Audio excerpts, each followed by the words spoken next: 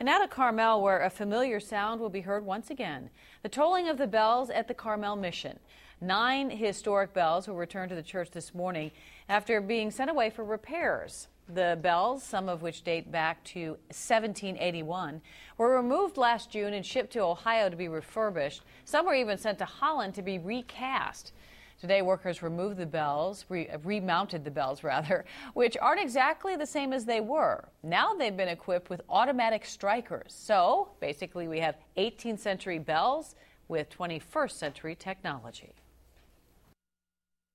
We've got a couple hundred years of history here, and uh, you know we've worked obviously very hard to restore that and keep the bells looking in their original state. But as I said, they're going to be updated so that they'll be technologically equipped so that they can be rung digitally and remotely.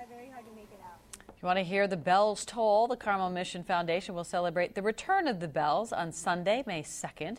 There will be a choir mass and, of course, the blessing of the bells.